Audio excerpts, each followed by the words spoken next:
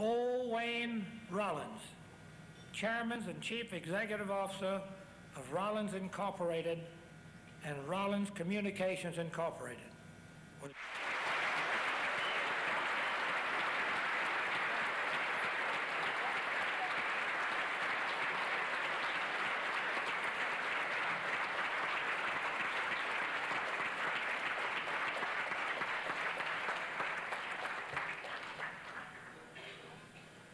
Thank you, Mr. Chairman. You know, we were briefed quite a bit on what we should, how much we should say, I guess not what we should say.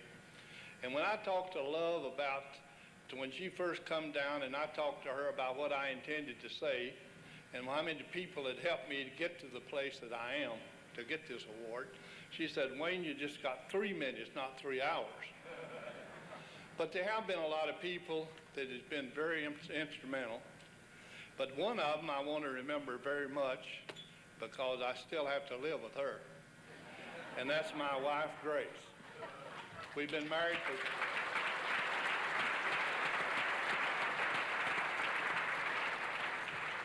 We've been married for 55 years, and I don't want you to draw any conclusions about how old she is because we was married when we was 10 years old.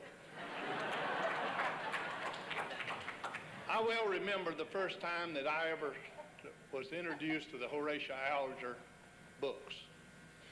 We lived in a small farm in North Georgia in a three-room farmhouse. My mother was a school teacher and my father was a farmer. And I had one brother, John, who has just given me this award. And my mother would gather us together of a night after the chores were done. We didn't, of course, have no radio or television. And she'd read to us from the Horatio Alger books. She'd read how this boy would leave the farm or leave his home at about 15 years old, and he's always uh, seemed like had to leave, and his mother was a widow woman, and she had a mortgage on the place. And he'd go out and have all these hardships, but he had to go out from home.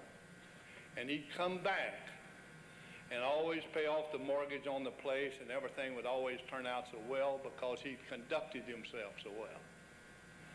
And she'd read these books, a lot of them three, four, and five, and six times. And we'd sit there, the four of us, my father, my mother, John, and I, and listen till we, till we could know these stories almost by heart. And then we'd dream about the boy. We'd dream about as we'd go walk the six miles to school, we'd dream about these things coming true. And isn't it wonderful that we can live in a country uh, to where a boy can have a dream and by working hard and, and holding to high morals, he can be here to receive this award like I am. Thank you.